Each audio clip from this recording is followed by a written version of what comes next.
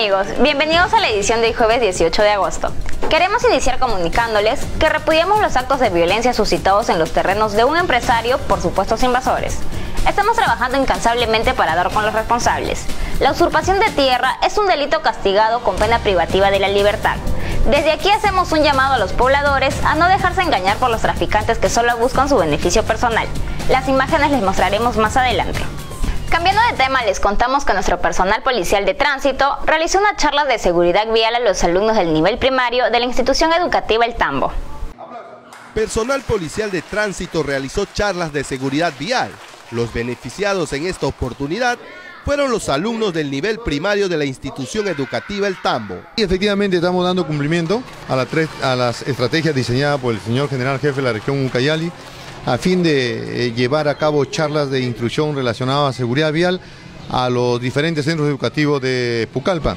Hemos empezado por el Colegio El Tambo con niños de inicial y de primaria, para de esta manera fomentar, crear en ellos una conciencia de seguridad vial. Los niños miraban muy atento a los expositores, donde cada alumno que contestaba bien las preguntas se hacía acreedor de su respectivo premio.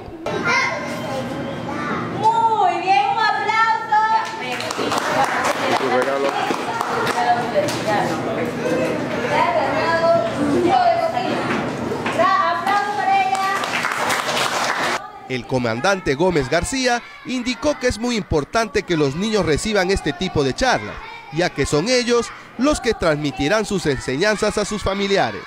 Ellos van a ser los transmisores, lo que van a difundir estos este, eh, en sus hogares, a sus padres, a sus hermanos, que cuando usen, cuando hagan uso de la vía, tengan que cruzar una, una, vía lo hagan por el lugar indicado, que es el crucero peatonal, que sepan respetar las luces del semáforo y sobre todo que, que las personas adultas cuando conduzcan eh, motocicletas lo hagan con el respectivo casco de seguridad.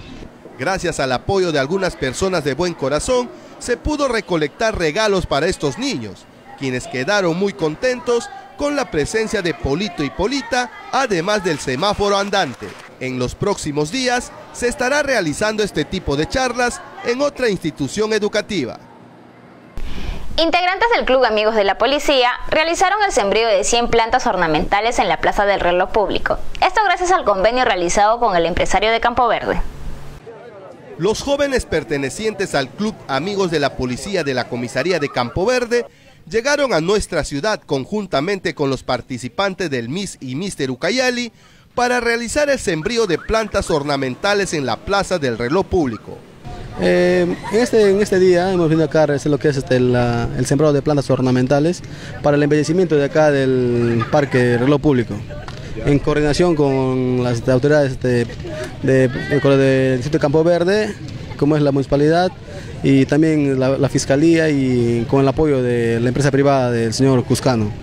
En total, fueron 100 plantones de la especie Mi Perú que fueron sembrados en la Plaza del Reloj Público. El empresario Rafael Cuscano agradeció al comando de la policía por unirse a este tipo de campañas. Yo desde que tengo uso de razón hago estas cosas, sí, ¿no? Y ahora que la policía se ha unido con nosotros, con otros jóvenes, con los jóvenes, mucha que en buena hora mi agradecimiento a todo el comando de la policía de Pucayali, que realmente esto se debe repetir día a día. Con el sembrío de estas plantas, se espera reforestar las principales plazas y parques de nuestra ciudad. Por tal motivo, estos jóvenes pertenecientes al Club Amigos de la Policía vinieron desde Campo Verde para participar de este importante acto. Esperemos que este sea un efecto multiplicador para que la, población eh, incentive a sus hijos a sembrar plantas. El empresario indicó que así como en Pucallpa este tipo de actividades se estarán realizando en otras localidades, conjuntamente con los amigos de la policía. Dos sujetos dedicados al robo de vehículos fueron capturados por un efectivo policial que se encontraba de Franco por el sector del asentamiento humano José Olaya. En una tenaz persecución, un miembro de la policía de patrullaje a pie, quien se encontraba de Franco, logró la captura de dos sujetos, que minutos antes había robado una motocicleta del frontis de una vivienda del asentamiento humano Ricardo Palma. Ya yo estaba volviendo a dejar a mi papá y había estacionado la moto afuera de la casa y cuando subí a tomar agua para poder salir otra vez en la moto, escuché a mi amigo que había gritado, ya que había dicho ratero, ratero, y el chico de blanco tiró la moto pues y se peleó con el joven. que, que recuperó la moto. La captura de estos avesados robamotos se dio por el jirón César Vallejo, sector de José Olaya, cuando huían a bordo de una mototaxi. Ay, no, pues que se vayan a, prisión, que paguen por lo que hacen, pues porque se quiere llevar todo fácil, como si no costaría la vida. Los detenidos fueron identificados como Ronald Murayari Zárate alias Caña y Jonathan Irving Mariño Vázquez alias Mariño. La agraviada agradeció a nuestro efectivo policial por ayudarle a recuperar su motocicleta.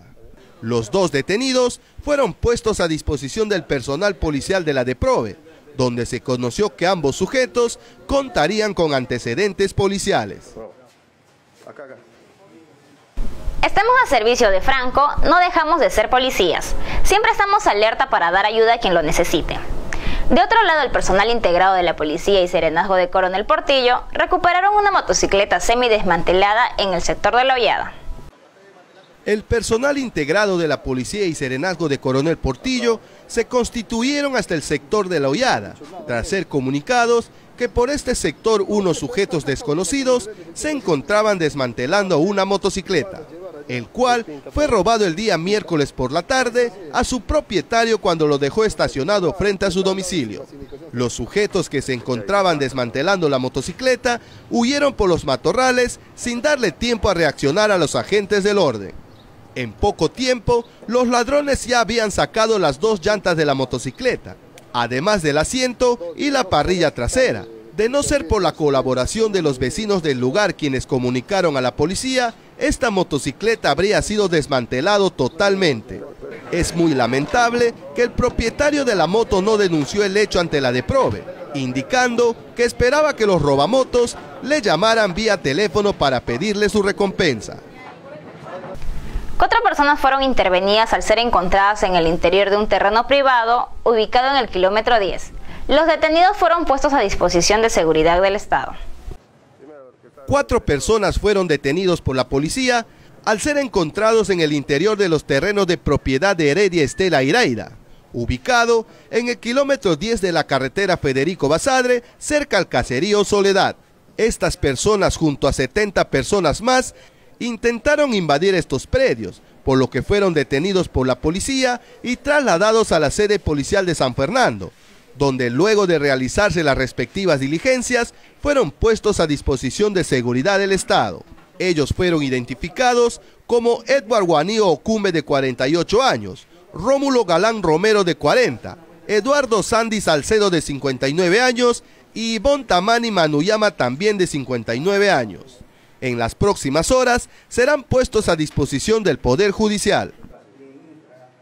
Y en operativo policial de control de hospedaje y extranjeros, realizado por el Departamento de Seguridad del Estado, se intervino Marcelo Aloy González, de 29 años de edad, de nacionalidad argentina, quien se encuentra en nuestro país de manera irregular toda vez que sus días de permanencia caducaron, por lo que fue conducido a las instalaciones de seguridad del Estado para las investigaciones. También se intervino Francisco Novaro Urrego Arenas, de 32 años, natural de Colombia, quien se encontraba realizando actividad lucrativa pese a que cuenta con permiso solo de turista. Por ese motivo fue llevado a la dependencia policial. Un supuesto invasor falleció tras ser disparado por una escopeta. El propietario de dicho terreno se encuentra grave tras ser golpeado por los invasores.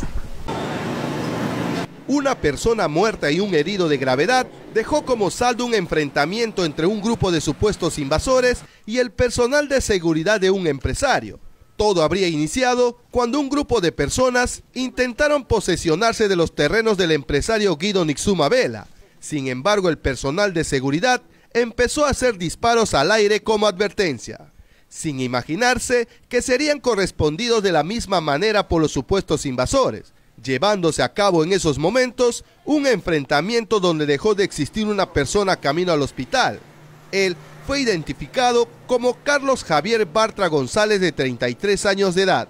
Esto habría indignado más a los supuestos invasores que decidieron saquear los pollos que habían en los galpones para luego quemarlos. En total, se conoció que fueron 14 galpones, donde existían cerca de 20 mil pollos que fueron destruidos y quemados por esta turba, donde incluso se llevaron 200 sacos de alimentos para pollos. 14 mil aviones grandes para mercado, grandes. para la venta. No contentos con esto, los invasores agredieron al propietario del terreno Guido Nixuma Vela, quien habría recibido un corte en la espalda y un golpe con la cacha de una escopeta en la cabeza. Cuando el personal de criminalística de la Divincri le realizó el registro personal al fallecido, se le encontró tres cartuchos de escopeta en uno de sus bolsillos, por lo que se presume que sería uno de los que se enfrentó a balazos con el personal de seguridad del empresario. El personal policial de la Divincri y la Tercera Fiscalía Penal de Coronel Portillo vienen investigando este hecho. Hasta aquí con las informaciones. Les recordamos que todas nuestras unidades y comisarías están para servirles. Nos reencontramos el día de mañana con más noticias. Que Dios los bendiga. Permiso.